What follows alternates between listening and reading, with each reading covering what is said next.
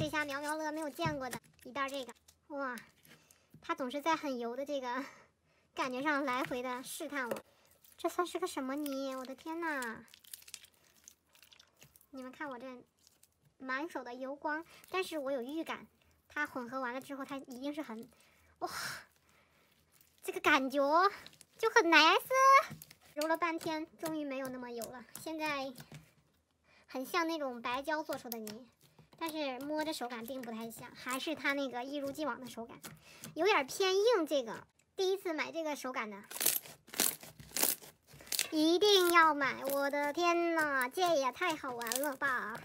就除了有点油，然后味道偏大，这个手感绝了。看多棒！